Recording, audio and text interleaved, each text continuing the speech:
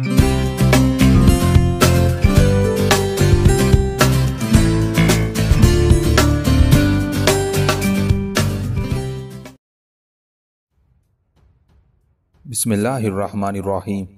असलकुम दोस्तों। उम्मीद आप सब खैर से होंगे। सुल्तान सपुख्तगी, एपिसोड थर्टीन। चूँकि जयपाल ने ऐलान करा दिया था कि सुबह सवेरे ही तमाम लश्कर मुसल्ला होकर सूरज देवता की पूजा करते ही मैदान जंग में पहुँच जाए। इसलिए जबकि सुल्तान और मुसलमान नमाज़ पढ़ रहे थे, राजपूत बेदार होकर जरूरियात से फरागत करके मुसल्ला हो गए थे। हर सिपाही पीतल की लोटियों में पानी भर भर के मशरक की तरफ़ देखने लगा था कि आफ्ताब के तलु होते ही उसकी परस्तिश करे। उनके देखते ही देखते महर आलम ताब उफक मशरक से झांकने लगा। एक सुर्ख गोला या सुनहरा इतबाक सा नज़र आया, जो रफ्ता रफ्ता ऊँचा होता जाता था। जब वो उस जगह से जहाँ ज़मीन और आसमान मिलते हुए नज़र आते थे, उसी जगह को उफक कहते हैं। जरा और बुलंद हुआ तो उसकी सुर्खी तेज सुनहरेपन से बदल गई और अब तिरछी चुआए पहाड़ की चोटियों पर अक्से फिगन हो गई। फ़ौरन ही घंटिया बजाई जाने लगी और हिंदू आफ्ताब की परस्तिश करने के लिए तैयार हो गए। सब उठकर खड़े हो गए और सूरज की तरफ़ मुँह करके लोटियों का पानी धार बाँध बाँध कर गिराने लगे। वो आहिस्ता आहिस्ता कुछ पढ़ते भी जाते थे। ये काम चंद ही मिनटों का था, इसलिए बहुत जल्द खत्म हो गया। क्योंकि हिंदू मुसल्ला पहले ही हो चुके थे और इस वजह से अब सबसे पहले पैदल पलटने बढ़कर मैदान जंग में पहुँचने लगी। उनके बाद रिसाले मुरतब होकर चलने लगे। अब तबले जंग पर चौक पड़ी। घंटे, घंटियाँ और नाकूस वगैरह बजाए जाने लगे। यही वो आवाज़ें थी जिनको मुसलमानों ने सुना था और हिंदुओं को मैदान जंग में आते देखकर खुद भी मुसल्ला होकर मैदान कारजार में जाने लगे थे। हिंदुओं के दस्ते और रिसाले पहले ही से पहुँच चुके थे। उन्होंने शमालन जनूबन दूर तक अपनी सफ़ें कायम कर ली थी। मुसलमानों ने भी मेसरा, मेमना, साका और कल्ब कायम करके अपने थोड़े से लश्कर को दूर तक फैला दिया था। मेमना यानी दायां बाजू, मेसरा बायां बाजू से इस कदर फासले पर था कि गौर से देखने पर भी उनके सिपाही एक दूसरे को नज़र न आते थे। दफातन हिंदुओं ने जयकारे लगाए और उनके पैदलों को हरकत हुई। प्यादा पलटने आहिस्ता आहिस्ता मुसलमानों की तरफ़ बढ़ी। हिंदुओं का लश्कर चूँकि ज़्यादा था, बल्कि बहुत ज़्यादा गोया पहाड़ के एक सिरे से लेकर दूसरे सिरे तक फैला हुआ था। हालाँकि दोनों तरफ़ पहाड़ कई मील के फासले पर थे। जो ही हिंदुओं की पैदल फौज ने बढ़ना शुरू किया, फ़ौरन ही गाजी महमूद अपने 500 जाबाजों और आजमुदा कार सवारों को लेकर आ बढ़ा। इस्लामी अलम उसके रिकाब की दीवार से बंधा हुआ था और उसका फरीरा बड़े रोब दाब और तुजुक एहतशाम से लहरा रहा था। वो और उसके तमाम सिपाही जरा बख्तरे पहने ओची बने हुए हथियार लगाए हिंदुओं की तरफ़ बढ़ रहे थे। उस अरसे में आफ्ताब बहुत ऊँचा हो गया। उसकी शुआएँ सीधी होकर मुतखासमीन की जरा बख्तरों, हथियारों और घोड़ों के साजों पर पड़ पड़ कर उनको जगमगाने लगी। चूँकि हिंदू नंगे बदन रहते थे और उनका कोई लिबास न था, इसलिए वो सिर्फ़ लोहे की बख्तरें और खोद पहने थे, नंगे पैर थे। मुसलमान अबाएँ और शलवारें पहने हुए थे, जिससे उनकी अच्छी तरह से सतर पोशी हो जाती थी। इसलिए वो जरा बख्तरों के ऊपर अपना कौमी लिबास पहने हुए थे, खोद पर इमामे बांधे थे और पैरों में जूते थे। जयपाल मुसल्ला नहीं हुआ था। गालबन उसे यकीन था कि उसे मुसल्ला होकर मैदान कारजार में जाने की ज़रूरत ही ना पेश आएगी और उसका बेशुमार लश्कर ही मुसलमानों का खात्मा कर डालेगा।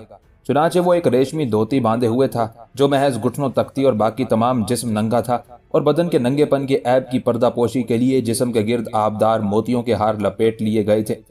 वो एक घोड़े पर सवार होकर एक पहाड़ी टेले पर खड़ा हो गया। उसके पीछे बहुत से अफसर खड़े थे। जब राजा ही नीम बढ़ाना था तो वो क्यों ना होते? तारीखों से मालूम होता है कि उस वक्त तक हिंदुओं ने तमद्दन और मुआशरत में किसी किस्म की तरक्की ना की थी और ना ही उनका कोई लिबास था, ना वो लिबास को जानते और समझते थे। जब जयपाल ने शहजादा महमूद को सिर्फ़ 500 सवारों के साथ अपने लश्कर की तरफ़ बढ़ते हुए देखा तो उसने अपने अफसरों से मुखातिब होते हुए कहा, ऐसा मालूम होता है कि मुसलमान लड़ना नहीं चाहते। अफसर अनदाता ठीक फरमा रहे हैं। जयपाल, ये थोड़ा सा लश्कर शायद सुलह की दरख्वास्त लेकर आया है। अफसर, ऐसा ही मालूम होता है। जयपाल मगर मैं हरगिज सुलह न करूँगा।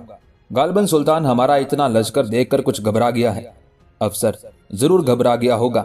उसका ख्याल होगा कि पहले की तरह हम थोड़ा सा लश्कर लेकर आएँगे, लेकिन उसे यह खबर नहीं है कि हम गजनी फतह करने के इरादे से आए हैं।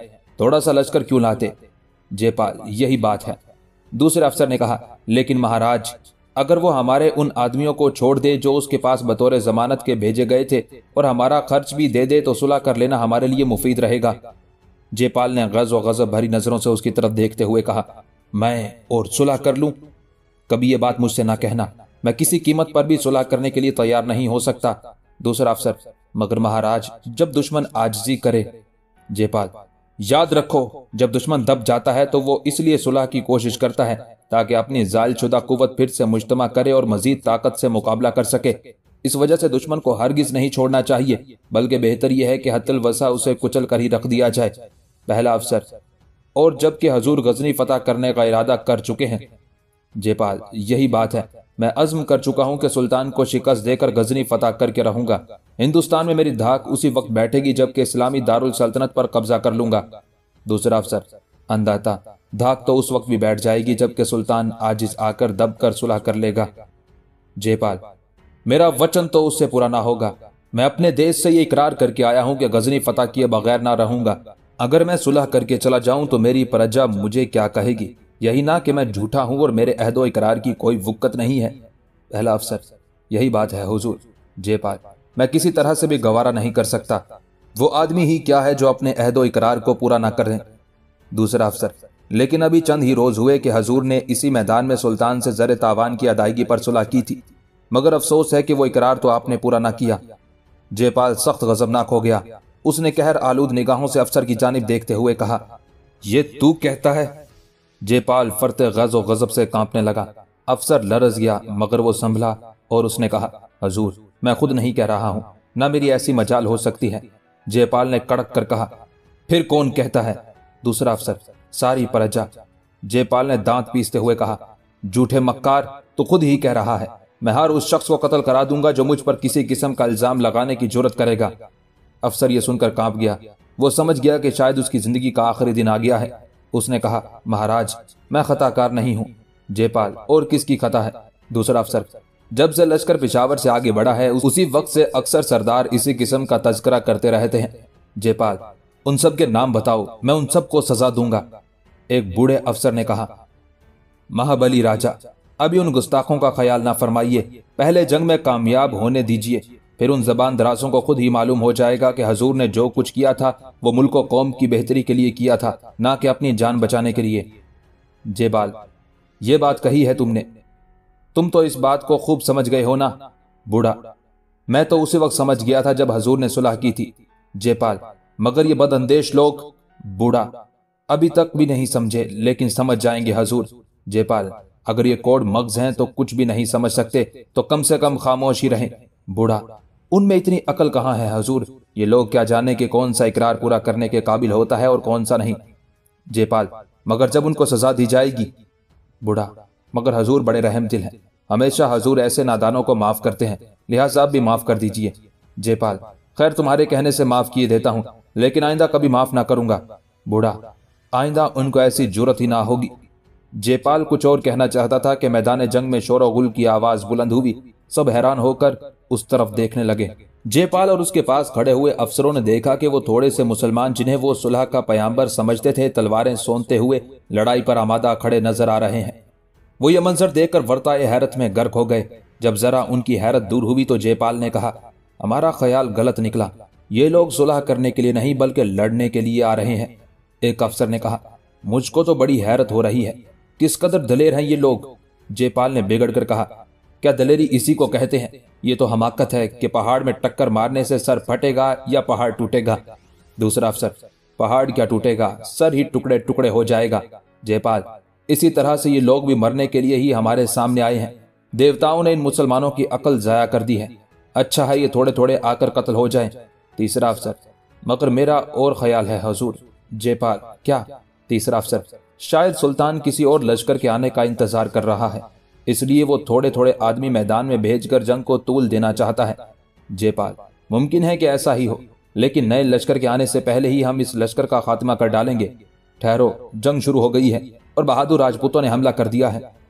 जयपाल ठीक कहता था, राजपूतों ने शहजादा महमूद के दस्ते पर हमला कर दिया था और महमूद ने अपने जेर कमान लश्कर की दो लंबी सफ़े कायम कर ली थी और दोनों सफ़ें दूर तक फैल गई थी।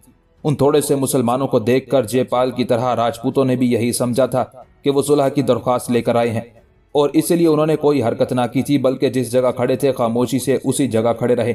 चुनाचे महमूद ने बढ़कर जब उनके सामने सफ़े कायम कर ली और आमादा जंग हो गया, तब उनमें से एक अफसर ने आगे बढ़कर उसे दरियाफ्त किया। क्या कहने के लिए आए हो तुम? महमूद ने खुद ही जवाब दिया, कुछ नहीं, हम लड़ने के लिए आए हैं। यह सुनकर फरते हैरत से उस अफसर का मुँह खुला का खुला रह गया। और वो देर तक बहरे हैरत में गोते खाता रहा। आखिर कुछ देर के बाद संभला और मुतहराना अंदाज से महमूद की तरफ़ देखते हुए बोला अच्छा लड़ने के लिए आए हो तुम? महमूद हाँ अफसर, इतना थोड़ा लश्कर लेकर। महमूद, अगर खुदा ने चाहा तो इस थोड़े से लश्कर से तुम्हें शिकस्त दूँगा। तुम शायद मेरा नाम नहीं जानते। अफसर, ओह, तुम्हारा नाम कुछ भी हो, मगर तुम्हारी उम्र लड़ने की तो क्या, मोहल्लों से बाहर आने की भी नहीं है? महमूद ने जोश में आकर कहा, मैं मुसलमान हूँ मुसलमानों की औलाद तलवारों के साय में पलती है। हम मैदान जंग को बाजीचा या अतफाल और लड़ाई को एक दिलचस्प खेल समझते हैं।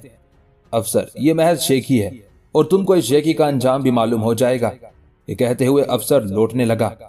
महमूद ने कहा, ठहरो, वापिस जाने से पहले मेरा नाम सुन लो। अफसर ठहर गया और उसने कहा, बताओ, तुम कौन हो? तुम्हारा क्या नाम है? महमूद, मैं सुल्तान का फर्जंद हूँ। महमूद मेरा नाम है। तुम्हारा राजा जयपाल मुझे खूब जानता है। वो धोखा देकर एक मरतबा जान बचाकर ले गया था। लेकिन इंशाला इस मरतबा, इस झूठे मक्कार और मगरूर का सर ठोकरों से पाश पाश कर दिया जाएगा। अफसर को यह बात सुनकर बड़ा गुस्सा आया। उसने जवाब तो कुछ ना दिया, अलबत्ता पीछे हटते हुए अपने सिपाहियों से कहा, बहादुर राजपूतो, ये मुट्ठी भर मुसलमान तुम्हारे सामने तुमको शिकस्त देने के लिए आए हैं। बड़ो और इन मगरूरों का सर काट कर अपने घोड़ों के सुमों के तले रोंद डालो। अफसर का यह हुक्म सुनते ही तमाम राजपूतों ने जयकारे लगाए। तलवारें सौंत ली और कदम कदम आगे बढ़ने लगे। उधर से मुसलमानों ने भी तलवारें खींच ली और वो इस बात का इंतज़ार करने लगे कि जब राजपूत बढ़कर उनके करीब आ जाए और हमला करें तो वो भी योरिश कर दें। आखिर राजपूत बढ़ते बढ़ते मुसलमानों से जा टकराए। उन्होंने साफ़ और शफाफ तलवारें बुलंद की और निहायत जोरों शोर से हमला कर दिया। मुसलमानों ने उनका हमला ढालों पर रोका और फिर खुद भी इस ज़ोर से हमला किया कि राजपूतों की पेशकदमी रुक कर जंग शुरू हो गई। चूँकि फरीकैन जोश गजब में भरे हुए थे, इसलिए जल्द जल्द हमले करने लगे थे। तलवारें जगमगाती हुई उठ उठ कर झुक रही थी। सियाह ढालें तलवारों को रोकने के लिए बुलंद हो रही थी। राजपूतों ने चीख चीख कर जेकारे लगाने शुरू कर दिए थे। उनकी पुरशोर आवाजों से मैदान गूंजने लगा था। वो गुल तो ज़्यादा मचा रहे थे, मगर तलवारें कम चला रहे थे। ऐसा मालूम होता था कि वो मुसलमानों को महज शोर गुल करके ही मरूब करना चाहते थे। लेकिन मुसलमान अगर डरते तो हमला ही क्यों करते? वो खामोश थे। मार धाड़ शुरू हो गई थी और साफ़ शफाफ तलवारें सरफरोशों के खून से सुर्ख होने लगी थी और सुर्ख सुर्ख खून में डूबकर उठने और खून के छींटे बरसाने लगी थी। सरोतन के फैसले शुरू हो गए थे। हाथ और पैर कट कट कर गिरने लगे थे। खून के फवारे उछलने लगे थे। चीखो पुकार शुरू हो गई थी। शोर दम बदम ज़्यादा होने लगा था और मुख्तसर मैदान जिसमें मुसलमान फैले हुए थे मकतल बन गया था। राजपूत मुसलमानों में घुस गए थे और बड़े जोश और खरोश से हमले कर रहे थे। अब उनकी तलवारें भी जल्द जल्द उठने और मुसलमानों को कत्ल करने लगी थी। मुसलमान भी गैज व गजब में आकर जोश और तैश से बल खा कर हमले कर रहे थे। उनके हमलों की शान ही निराली थी। वो जिस तरफ़ हमला करते थे, उसी तरफ़ कत्ले आम करते चले जाते थे। जिस सफ पर टूटते थे, उसे दरहम भरम कर डालते थे। उन्होंने कुश्तों के पुश्ते लगा दिए थे और खून का एक दरिया बहा दिया था। बहादुर सरफरोशों के सर घोड़ों के पाँव से कुचले जा रहे थे और जिस्म रेजा रेजा हो रहे थे। गोया खून आशाम जंग अपने पूरे शबाब पर थी।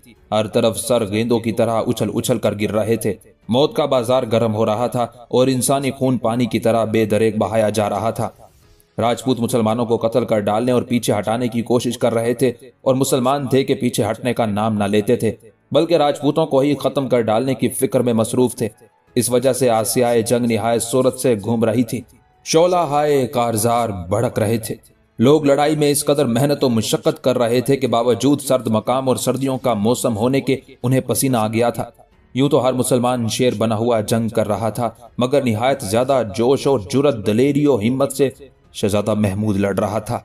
वो कमसिन था और उसकी नस नस में जोश और दलेरी भरी हुई थी। वो एक हाथ में ढाल और दूसरे हाथ में तलवार लिए हमले कर रहा था और दुश्मनों के सर उड़ाता फिर रहा था। सुल्तान का वो माया नाज फर्जन जिस तरफ़ जाता था, मुर्दों के ढेर लगा देता था। उसने अक्सर बेशतर ढालों को फाड़ दिया था, घोड़ों की गर्दनों को उड़ा दिया था और सिपाहियों के सर काट दिए थे। राजपूत उसे लड़ते हुए देख रहे थे। उसका चेहरा जोशो जलाल से सुर्ख हो रहा था और आँखों से चिंगारियाँ सी बरस रही थी। वो लड़ रहा था निहायत गजब से। बड़ी दलेरी और शुजात से। राजपूत चाहते थे कि उसे नरगे में लेकर मार डालें या कम अज कम गिरफ़्तार ही कर लें, इसलिए वो बढ़ बढ़ कर उस पर हमले कर रहे थे। मगर उसका रिसाला उसके जिलों में था। वो उसकी हिफाजत कर रहा था। वो हर उस शख्स को मार डालता था जो उस शेर दिल के पास पहुँचने की जुरत करता था। उधर से उसके रिसाले वाले और सामने से महमूद राजपूतों पर हमला करके उनको मौत के घाट उतार रहे थे। वक्त गुजर रहा था। सुबह से दोपहर तो और दोपहर से तीसरा पहर हो गया। इतना बड़ा वक्फा सिर्फ़ 500 मुसलमानों को लड़ते हुए हो गया था और अभी तक वो थके थे और ना ही कत्ल हुए थे, बल्कि बराबर उसी जोशो खरोश से लड़ रहे थे और निहायत गज गजब से हमले करके दुश्मनों को ठिकाने लगा रहे थे। इसमें शक नहीं कि महमूद के रिसाले पर तमाम राजपूतों ने हमला ना किया था, मगर पंद्रह बीस हज़ार सिपाहियों ने ज़रूर योरिश की थी और उनको घेर कर कत्ल करने की फ़िक्र में थे, लेकिन उस वक्त तक उस बात की नौबत न आई थी।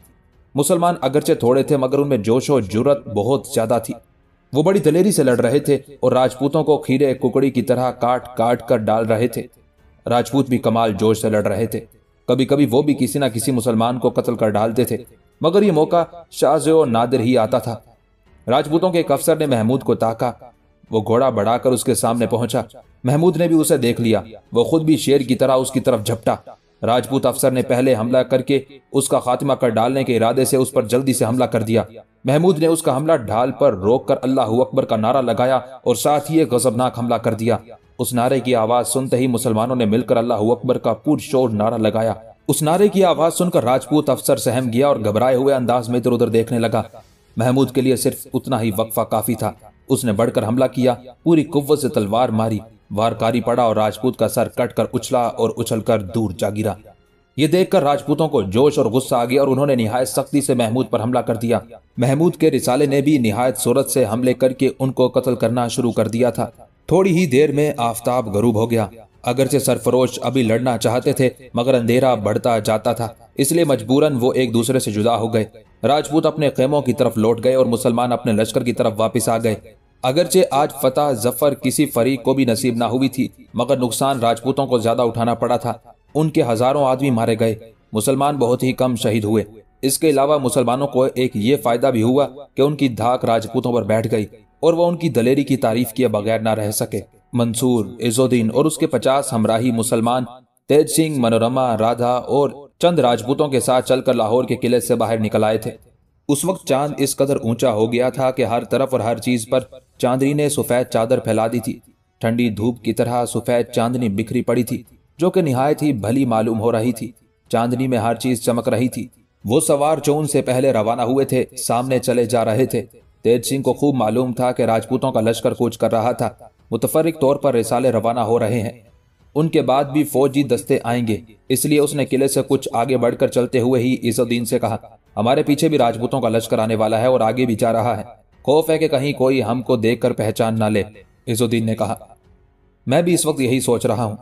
तेज सिंह, अगर पहचान लिए गए तो बड़ी मुश्किल होगी।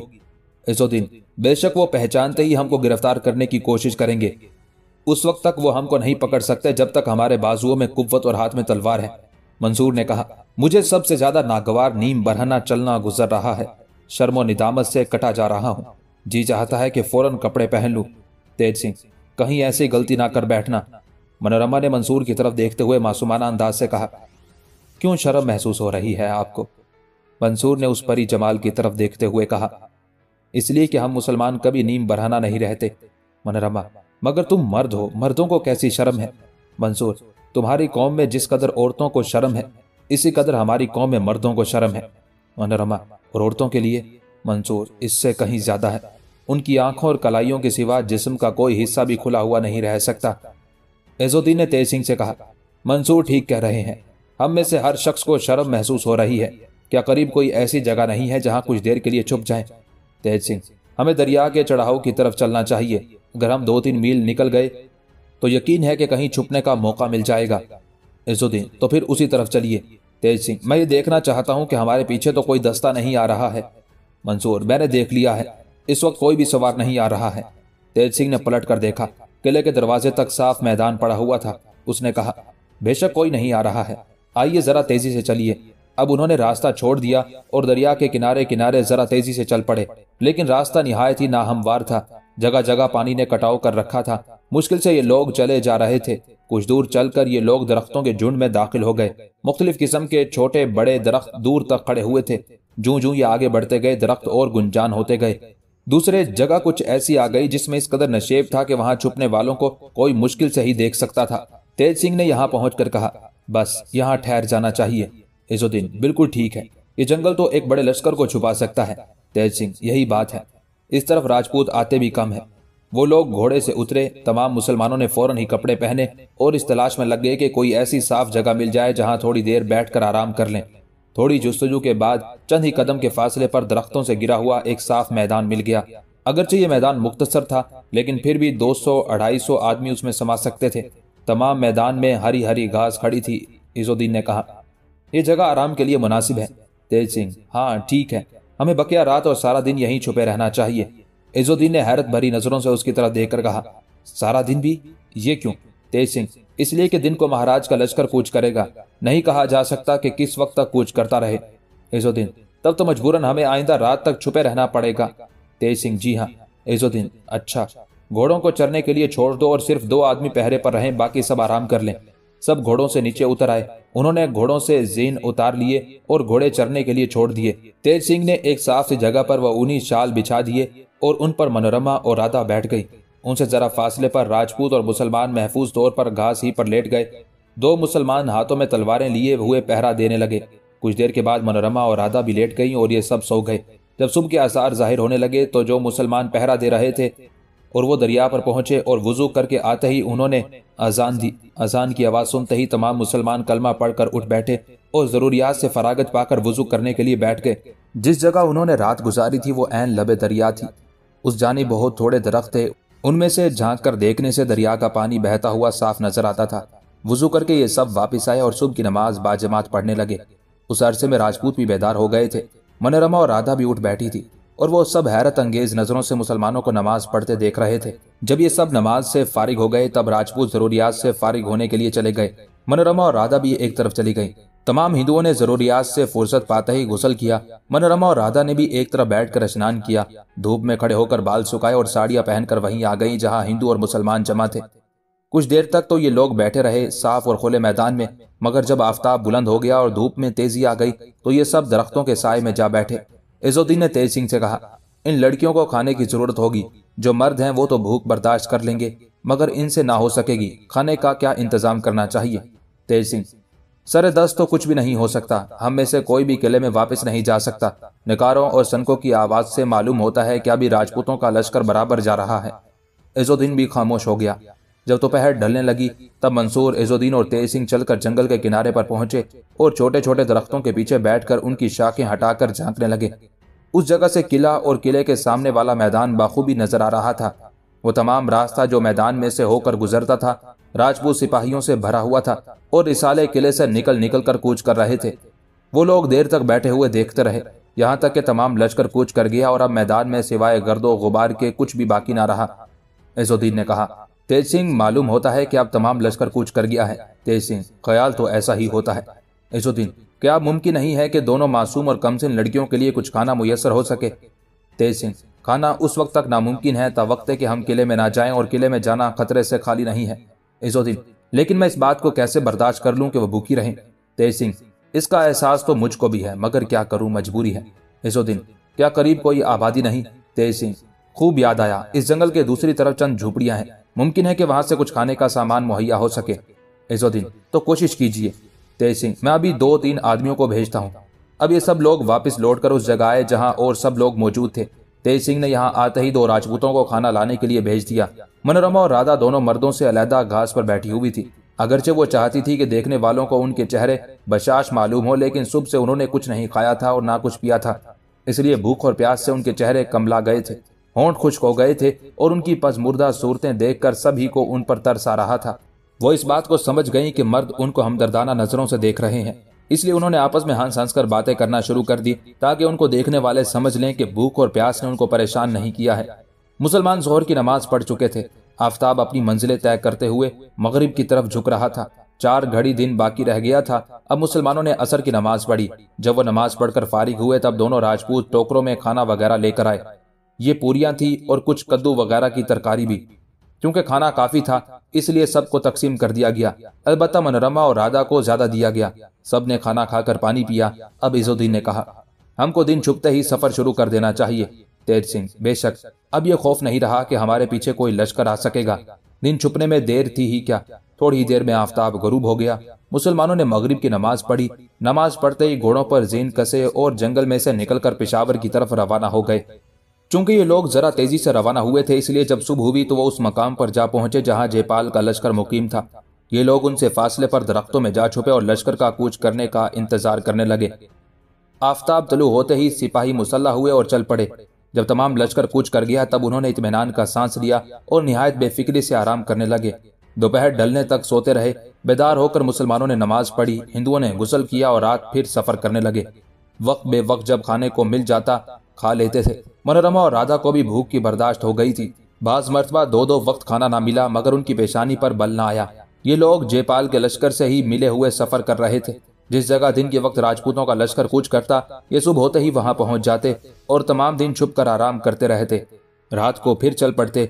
इस तरीके से लश्कर के साथ ही साथ चल रहे थे, मगर लश्कर वालों को इस बात का कुछ इल्म न था। पिशावर पहुंचकर उन्होंने चाहा कि लश्कर से आगे बढ़ जाएँ, लेकिन उनको ये बात मालूम न थी कि लश्कर कितनी दूर तक फैला हुआ है। इसलिए पीछे ही रहना मुनासिब समझकर रुक गए। अटक को अबूर करके वो चले और पहाड़ पर जा पहुँचे। अब उन्होंने फिर इरादा किया कि करीब के दर्रों या घाटियों में से निकलकर राजपूतों से पहले लगमान के मैदान में पहुँच जाए। चुनाचे इजोद्दीन ने तेज सिंह से कहा, राजपूतों का लश्कर चूँकि ज़्यादा है, इसलिए बहुत ही सुस्त रफ्तारी से चल रहा है। उसकी वजह से हमको भी तकलीफ़ हो रही है। अब पहाड़ शुरू हो गया है। अगर हम कोशिश करें तो अब उनसे आगे बढ़ सकते हैं। तेज सिंह ने कहा, ज़रूर बढ़ सकते हैं। सुबह जब हम लश्कर के करीब जाकर ठहरेंगे, तब कोशिश करेंगे। एजोदीन, क्या तुम्हारे ख्याल में ऐसे बहुत से रास्ते हैं जिनसे हम इस लश्कर से आगे निकलकर लगमान के मैदान में पहुँच जाएँ? तेज सिंह हाँ मैं ऐसे बहुत से रास्तों से वाकिफ हूँ। इजुद्दीन मैं देख रहा हूँ कि दोनों लड़कियाँ सर्दी की शिद्दत की वजह से परेशान हो रही हैं। तेज सिंह, ये लाहौर की रहने वाली है। कभी किसी सर्द मकाम पर नहीं गई, और लाहौर में जाड़ों में इतनी सर्दी नहीं पड़ती जिस कदर के इन बर्फ़ पोश पहाड़ों पर गर्मियों के मौसम में पड़ती है। इसी वजह से इनको तकलीफ़ हो रही है। एजोद्दीन अफसोस ये है कि इनके पास काफ़ी कपड़े भी तो नहीं है। तेज सिंह हाँ सर्दी से बचने के लिए काफ़ी कपड़े नहीं है, मगर आपके पास भी तो नहीं है। इजुद्दीन हम सर्द मकाम के रहने वाले हैं, लिहाजा सर्दी को बर्दाश्त कर सकते हैं, मगर ये गर्म मकाम की रहने वाली है, इसलिए यहाँ की बड़ी हुई सर्दी को बर्दाश्त नहीं कर सकती। मंसूर भी करीब ही बैठा था और उनकी बातें सुन रहा था। उसने कहा, अब हमको इस बात का अंदेशा नहीं रहा कि कोई हमको देख ना ले, इसलिए रात को आग रोशन कर लिया करें तो कोई नुकसान नहीं है। इजुद्दीन कोई हर्ज नहीं है, मगर रात को तो हमको सफ़र करना पड़ता है, और सुबह जब तक आग जलाएँ, उस वक्त तक तलुए आफ्ताब हो जाता है, फिर आग की ज़रूरत ही बाकी नहीं रहती। मंसूर, ये भी ठीक है, मगर रात के वक्त तो हमको इस वजह से सफ़र करना पड़ा है कि राजपूतों का लश्कर हमसे आगे जा रहा है। अगर हम किसी तरह से उनसे आगे बढ़ जाएँगे तो फिर रात को सफ़र करने की ज़रूरत बाकी ही ना रहेगी, और हम बेफिक्र हो जाएँगे। तेज सिंह, और इसी फ़िक्र में मुबतला हैं हम। इजोद्दीन अब ईशा का वक्त हो गया है, नमाज़ पढ़ लेनी चाहिए।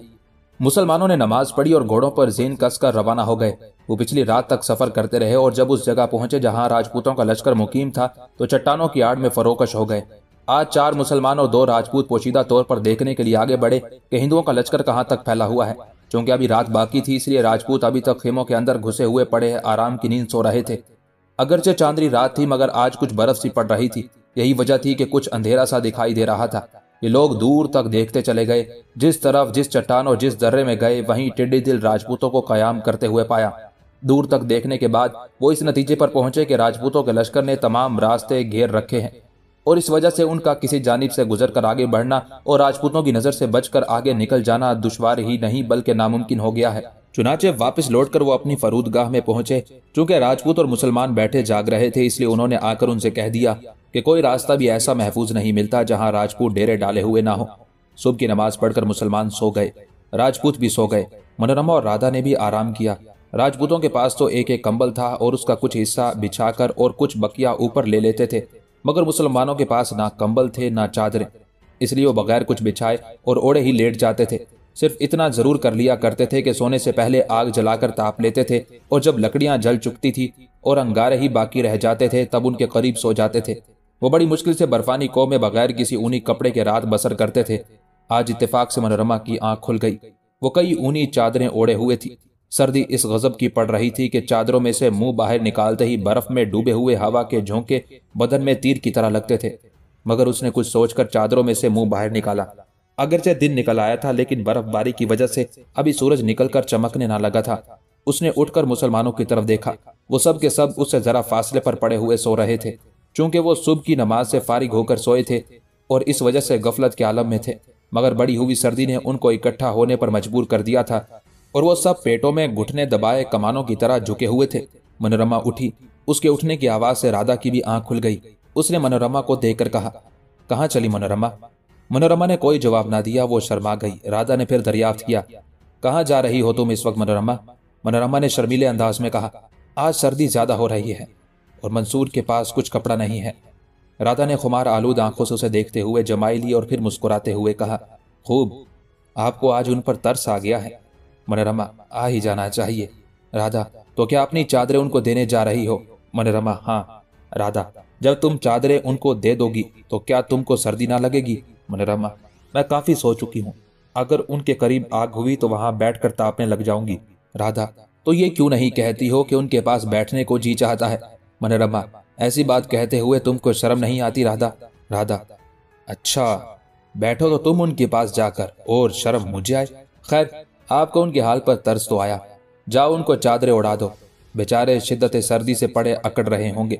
मनोरमा चल पड़ी क्योंकि तमाम चट्टानों और पत्थरों पर बर्फ़ जमी हुई थी और मनोरमा नंगे पैर थी, इसलिए उसके पाँव सुन हो गए थे, मगर इसके बावजूद उसने सर्दी की कोई परवाह ना की और जल्दी से जल्दी पत्थरों से गुजरते हुए मंसूर के पास जा खड़ी हुई। मंसूर भी औरों की तरह सर्दी से अकड़ा हुआ सुकड़ रहा था। मनोरमा ने एक लहजा तक तो उसे देखा।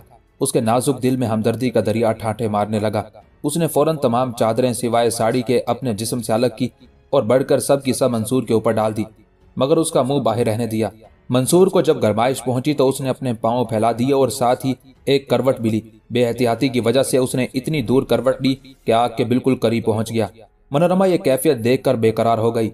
बड़ी और उसने उसके पहलू में बैठकर उसे दूसरी तरफ़ करवट बदलवाना चाहिए नाजुक अंदाम दोशीजा अपनी पूरी कुत सर्फ करने पर भी उस कड़ियल जवान को करवट ना बदलवा सकी। अलबत्ता ये ज़रूर हुआ कि ज़्यादा ज़ोर लगाने की वजह से मंसूर की आँख खुल गई और उसने जो हूरवश मनोरमा को अपने पहलू में बैठे हुए पाया तो हैरान होकर उठ बैठा और ताज्जुब अंगेज अंदाज में गोया हुआ, मनोरमा, तुम यहाँ क्यों आई हो? मनोरमा ने शर्माते हुए कहा, आप आग के करीब आ गए थे, लिहाजा आपको करवट बदलवा रही थी। मंसूर ने इंतहाई मशकुराना नज़रों से उस सेमतन को देखते हुए कहा, मैं किस जबान से तुम्हारा शुक्रिया अदा करूँ? फिर उसने चारों तरफ़ देखा, और ये चादरें, मनोरमा, मैंने ही उड़ा दी थी, मंसूर। मगर तुमने ये ख्याल ना किया कि सर्दी मुझसे ज़्यादा तुम्हें नुकसान पहुंचाएगी। इसलिए लो ये चादरें तुम ओढ़ो। मैं आज के सामने बैठ जाऊँगा। ये कहते ही उसने चादरें उतार कर मनोरमा को दे दी। मनोरमा ने ले ली और उनको ओढ़कर उसके पास बैठ गई। दोनों देर तक बैठे आग तापते और बातें करते रहे। यहाँ तक कि कोहर छट गई और सूरज निकल आया। अब चूँकि जोहर का वक्त हो गया था, लिहाजा तमाम लोग एक एक करके उठ बैठे और मनोरमा भी उठकर राधा के पास चली गई। मुसलमानों ने जोहर की नमाज़ पढ़ी और नमाज़ से फारिग होते ही आज उसी वक्त ही सब रवाना हो गए।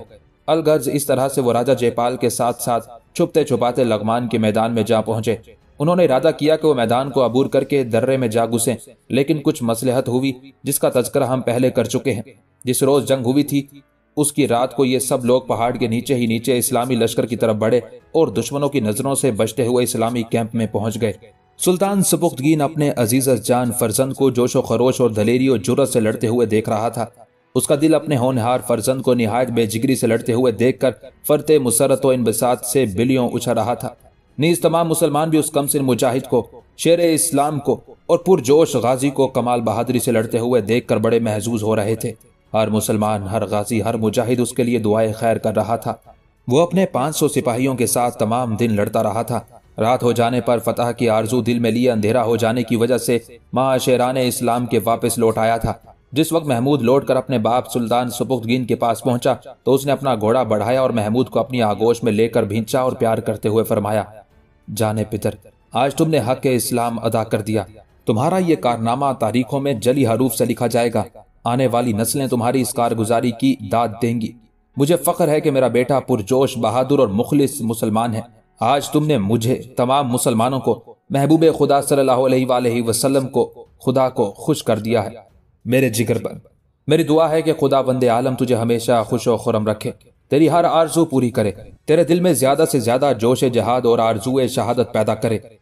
तेरा नाम दुनिया भर में आफ्ताब आलम ताब की तरह रोशन हो जाए। अपने शफीक बाप के ये कलमात सुनकर महमूद की आँखों में फरते मुसरत से आँसू छलक आए उसने कहा, खुदा का हज़ार हज़ार शुक्र है कि मैंने आप जैसा शफीक को मोहब्बत करने वाला बाप पाया है। सबुख्तीन खुदा का लाख लाख एहसान है कि उसने मुझे तुझ जैसा बेटा अता किया है। मुझे यकीन है कि तू मेरे नाम और अपने खानदान को रोशन करेगा। नीज आदाए इस्लाम के दिलों पर मुस्लिम मुजाहिदीन की हैबत दलेरी का सिक्का बिठा देगा। चलो फर्जन मगरिब की नमाज़ का वक्त गुजर रहा है। अगरचे हमने जोहर और असर की नमाज़ पढ़ ली है, लेकिन तुमने और तुम्हारे सिपाहियों ने अभी तक नहीं पढ़ी है। अब पढ़ना। महमूद, चलिए। फिर तमाम लश्कर लौटा। सारे मुसलमानों ने अल्लाह अकबर का पुरशोर नारा लगाया और जब ये फलक शगाफ नारा फिजा में गुम हो गया तो शहजादा महमूद जिंदाबाद, फख्र रोज़गार महमूद की उम्र दराज के नारों से आसमान और ज़मीन गूंजने लगे। चूँकि मुसलमानों को नमाज़ पढ़ने की जल्दी थी, इसलिए वो कदम बढ़ाकर चले और कैंप में पहुँचते ही अपने अपने खेमों में जाकर घोड़ों से उतरे। जल्दी जल्दी जेन खोले, हथियार खोले और नमाज़ पढ़ने के लिए मैदान की तरफ़ रवाना हो गए। इस्लामी लश्कर एक चश्मे के किनारे पड़ाव किए हुए था। सारे मुसलमान उसके किनारे पर बैठ गए और वज़ू करने लगे। कपड़ों पर लगे हुए खून के धब्बे साफ़ किए, फिर गुसल करके नमाज़ अदा करने के लिए तैयार हो गए। मगरिब का वक्त खींचकर ईशा का वक्त आ गया था। चारों मोजिनों ने मिलकर अजान दी। जिन मुसलमानों की नमाजें कजा हो गई थी, पहले उन्होंने कजा नमाजें पढ़ी और फिर जमात से ईशा की नमाज़ पढ़ी। नमाज़ पढ़कर वो वापस लौटे। जिस वक्त वो कैंप में पहुँचे तो उन्होंने चंद हिंदुओं को और बहुत से मुसलमानों को घोड़ों पर सवार आते हुए देखा। तमाम लोग उनको देखकर हैरान रह गए। इत्तेफाक से उस जगह महमूद आ गया। उसने भी जब उन लोगों को देखा तो मुताजब हुआ, लेकिन फ़ौरन ही हैरत दूर करके जोश और मुसरत के लहजे में बोला, कौन? मंसूर, मेरा भाई, खुदा का हज़ार हज़ार शुक्र है। मंसूर अंधेरा होने की वजह से उसे पहचान ना सका। आवाज़ सुनते ही वो घोड़े से उतर गया। महमूद की तरफ़ बढ़ा, उसने कहा वालेकुम महमूद दौड़कर उससे लिपट गया और उसने कहा, वालेकुम अस्सलाम या शहजादे को देखकर तमाम मुसलमान और सारे राजपूत, मनोरमा और राधा सब घोड़ों से उतर कर खड़े हो गए। महमूद बगलगीर होकर अलहदा हुआ। उसने कहा, मंसूर, तुम्हें देखकर जिस कदर मुझको मुसरत हुई उसका अंदाज़ा कुछ मेरा दिल ही कर सकता है। मंसूर ने कहा, शहजादा साहिब दिल को दिल से राह होती है। आपको देखते ही मेरे दिल की कली खिल गई है और फरते मुसरत से मेरा दिल बाग बाग हो गया है और मैं खूब जानता हूँ कि यही कैफियत यकीनन हजूर के दिल की भी होगी। महमूद, बाखुदा तुमने सही कहा। मेरी हालत भी ऐसी ही हो रही है। बताओ, क्या सब मुसलमान तुम्हारे साथ आ गए? मंसूर, जी हाँ खुदा के फजलो करम से सब आ गए। महमूद ने खुश होते हुए कहा, खुदा का हज़ार हज़ार एहसान है। आओ आलम पना के सामने अपने आज़ाद होने की रोईदाद बयान करें। मंसूर, चलिए।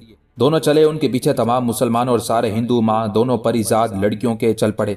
राजपूतों और लड़कियों के दिलों पर महमूद और मंसूर की मुखलिसाना मुलाकात का बहुत गहरा असर हुआ था। मसावत का जो मंजर उन्होंने देखा, उसने उन तमाम की आँखें खोल दी। हिंदुस्तान के राजा अपने आप को देवताओं से कम ना समझते थे और उनकी इज़्ज़त अजमत, एहतराम वकार देवताओं से कम ना होता था। हर आदमी हाथ जोड़कर सजदे में गिरकर उन्हें प्रणाम करता था। मगर मंसूर ने ना हाथ जोड़े, ना सजदे में गिरा, ना झुका, बल्कि सीधे सादे तरीके पर रसूलुल्लाह सल्लल्लाहु अलैहि वसल्लम की सुन्नत के मुताबिक सलाम किया। ये सब लोग चलकर सुल्तान के खेमे में पहुँचे। उस वक्त सुल्तान अपने खेमे के सामने आग के पास बैठा हुआ था। उन सब लोगों ने जाते ही कहा, अस्सलाम वालेकुम या अमीरुल मोमिनीन सुपुख्तगीन ने भी रस्मी तौर पर वालेकुम अस्सलाम रहमतुल्लाहि वबरकातु कहा और गौर से उनकी तरफ़ देखने लगा। उसकी नज़र मंसूर पर पड़ी।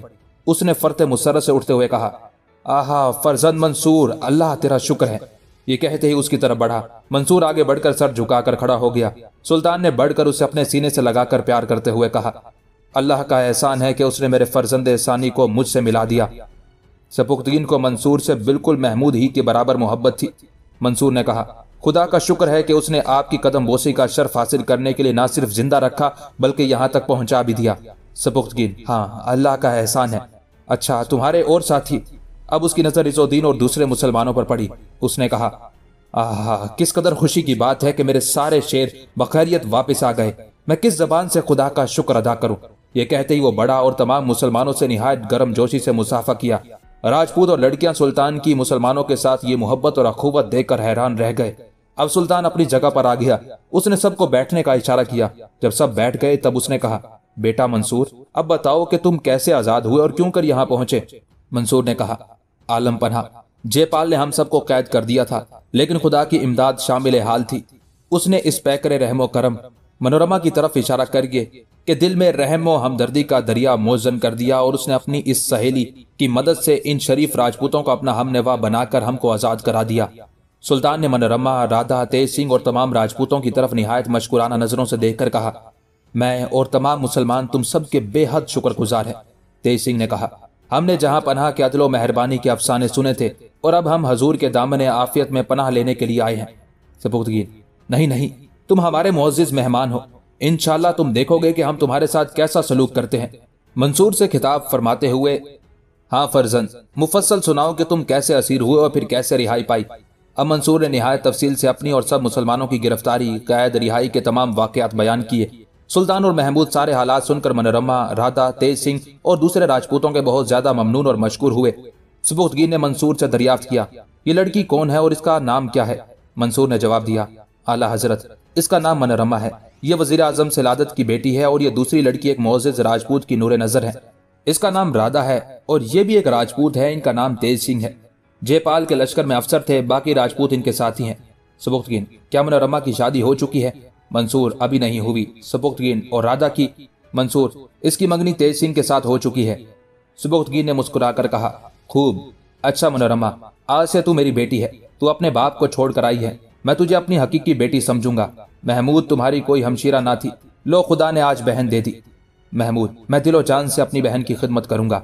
सिपुख्तगीन और बेटी राधा एजोदीन आलम पन्हा, सुल्तान ने उसकी तरफ़ देखते हुए कहा, क्या कहते हो तुम? एजोदीन राधा को मैं अपनी बेटी बना चुका हूँ। सुपुख्तगीन बड़ी खुशी की बात है। तेज सिंह, तुम महमूद और मंसूर को अपना भाई समझो। तेज सिंह ने अदब से झुकते हुए कहा, हजूरे वाला, मैं एक अदना आदमी हूँ। इस इज़्ज़त के काबिल कहा हूँ कि एक मशहूर आलम शहजादे का भाई बन सकूँ? महमूद, तेज सिंह, आलम पनाह ने आपको मेरा भाई फरमा दिया है। अब तुम मेरे भाई हो। हमारे मज़हब में अदना वाला नहीं होते। तेज सिंह, मैं किस जबान से आपका और आला हज़रत का शुक्रिया अदा करूँ? सबुख्तगिर नूर नज़र मंसूर आज तुम्हारा भाई महमूद सिर्फ़ पाँच सौ सवारों के साथ तीन लाख राजपूतों का तमाम दिन मुकाबला करता रहा है। तेज सिंह और सारे राजपूत ये सुनकर कमाल मुतहैर हुए और फरते तहैर से उनकी आँखें खुली की खुली रह गई। मंसूर ने कहा, खुदा का शुक्र है। अल्लाह करे कुत ज़ोर और ज़्यादा। सबुख्त की। अच्छा इसुद्दीन तुम इन तमाम राजपूतों के लिए अलहदा अलहदा खेमे खड़े करा दो। मेरे ख्याल में इनको मंसूर के करीब ठहराओ। इसुद्दीन बेहतर है। सबुख्तगीन मनोरमा और राधा जिस जगह मुनासिब समझे ठहरे। यानी हमारे खेमे, महमूद के खेमे में, या मंसूर के, या तेज सिंह के खेमे में। गर्ज ये कि जिस खेमे में चाहे, ये इनकी मंशा पर मुनहसर है। मंसूर ने मनोरमा की तरफ़ देखकर दरियाफ्त किया। तुम और राधा कहाँ ठहरना चाहती हो? मनोरमा शर्मा कर चुप हो गई। मंसूर ने सुल्तान से कहा, मेरा ख्याल में इनको आराम इनके साथियों में ही मिलेगा। सबुख्तगिन हम भी ये समझते हैं। तेज सिंह, इन दोनों को तुम ही अपने साथ ले जाओ। तेज सिंह, बेहतर है। सबुख्तगिन तुम सब थक गए हो, इसलिए अब जाकर आराम करो। मंसूर, इन मेहमानों के खाने का अहतमाम तुम्हारे सपुर्द है। मंसूर, बहुत अच्छा हजूर। फिर ये उठे और सुल्तान को सलाम करके चले गए।